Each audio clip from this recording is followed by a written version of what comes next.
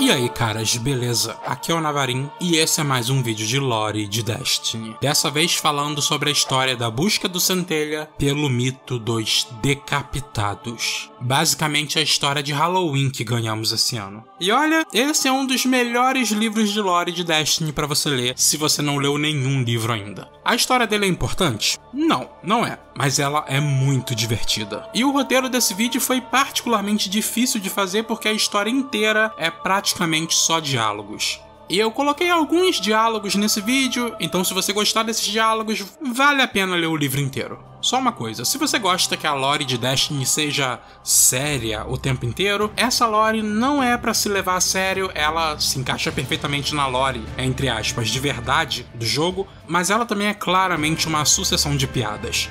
Então a Band conseguiu fazer os dois aqui. Uma lore boba e engraçada, mas que funciona perfeitamente com a lore mais séria do dia a dia do jogo.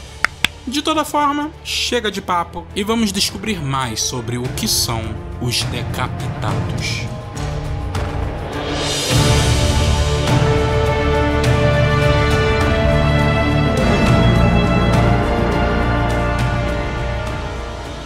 Hoje nós vamos falar sobre um dos maiores mistérios da humanidade.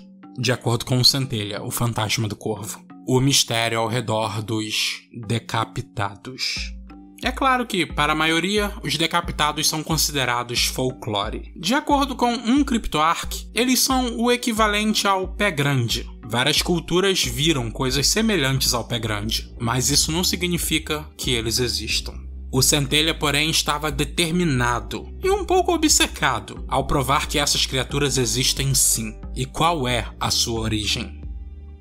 Com os últimos incidentes entre o Corvo e a Savatun, o antigo príncipe Uldren decidiu que queria um tempo sozinho e pediu ao Centelha para deixá-lo com a Imperatriz Kaitel, sabendo que nada aconteceria com ele lá, visto que qualquer coisa que o ferisse, enquanto ele é convidado da Imperatriz, seria considerado um problema diplomático. Por isso, o pequeno fantasma se colocou à frente de uma pesquisa entrevistando diversas das maiores mentes da atualidade como a Failsafe e outros, para desvendar esse mistério e provar que eles, os decapitados, são mais do que uma teoria da conspiração. Além, é claro, de pedir a companhia do guardião para finalmente confrontá-los quando ele descobrisse que eles existiam mesmo. Durante anos existem relatos de cavaleiros da colmeia com uma abóbora entalhada no lugar da cabeça. Aliás, os primeiros relatos surgiram momentos antes do colapso dentre uma equipe de mineradores da Clovis Bray na Lua, que estavam expostas a um misterioso artefato. História que nós já mencionamos antes aqui. Não apenas isso, um desses relatos vem do próprio Cade 6. A Ikora disse ao Centelha que Cade confirmou ter lutado contra alguma dessas criaturas. Sempre que ele lutou com uma delas, ele estava sozinho. Mas de acordo com a Ikora, o Cage era conhecido por exagerar nas suas histórias, mas nunca por mentir. Ele não é a única testemunha dessas criaturas, porém. Muitos outros, vivos e mortos, já a viram. Como é o caso do decaído Cliffix, que serve a Casa da Luz. Veja o trecho de uma entrevista que o Centelha fez com o Mitrax sobre esse caso. Cliffix é o nosso engenheiro. Ele diz que testemunhou essas criaturas em Nesso, mas. Hum, qual é a palavra que os humanos usam para alguém que é bem intencionado, mas que sempre fala alto e não sabe sobre as coisas que fala? Perguntou Mitrax. Hum, acho que a palavra é idiota, respondeu Centelha. Sim, é isso. Cliffix é um idiota confirmou Mitrax. Idiota ou não, a descrição que Cliffix deu sobre os eventos que ele testemunhou foram úteis. Ele só deu o depoimento com a condição de que o Centelha descolasse um pardal para ele, mas foram úteis. De acordo com esse decaído, ele encontrou alguma dessas criaturas em Nesso. Nesso é um dos principais lugares onde essas criaturas foram vistas, mas nem de longe é o único. Em Europa, várias foram encontradas. Alguns Ezos achavam que ver essas criaturas eram apenas glitch que todos os Ezos tinham programado em si.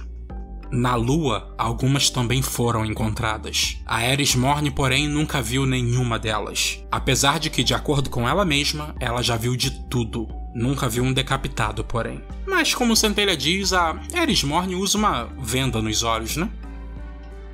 Procurando outros conselhos tão sábios quanto o da Eris, o Centelha recentemente procurou uma das novas Tecnatas, uma das que salvamos dos reinos estilhaçados, e perguntou a ela sobre o caso.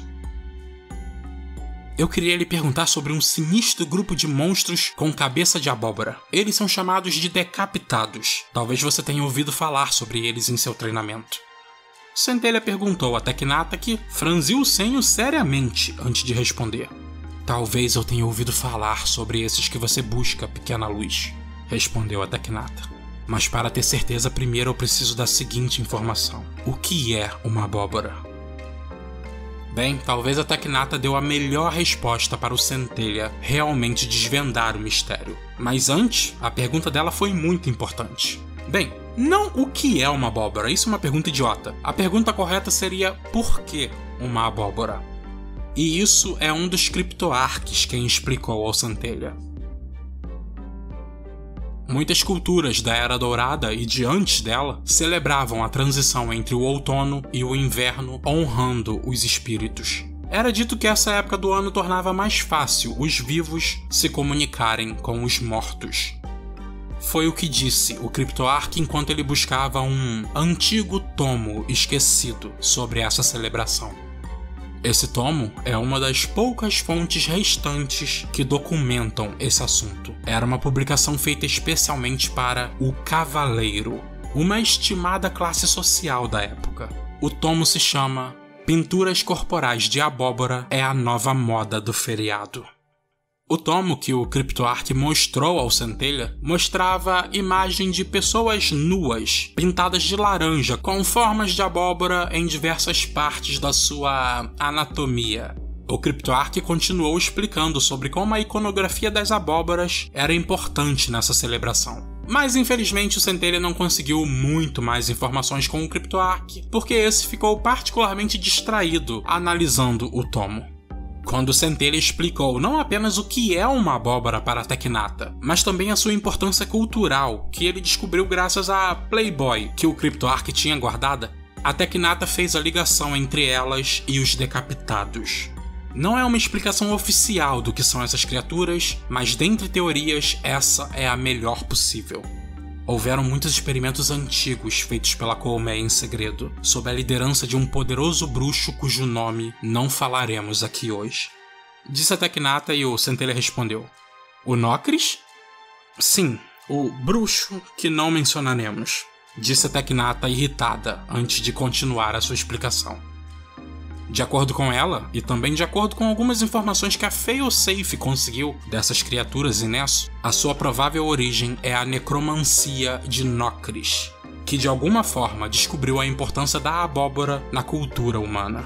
Talvez, quem sabe, através do mesmo tomo ou de algum semelhante ao do CryptoArk. E como a celebração de Halloween tecnicamente facilitava a comunicação com os mortos, e as abóboras são vitais para o Halloween, o Nocris usou, como a Tecnata disse, essas relíquias da humanidade em seus experimentos para tentar melhorar a sua necromancia. E os decapitados são o resultado disso.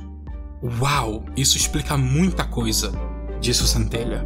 Mas abóboras não são relíquias, são só frutas.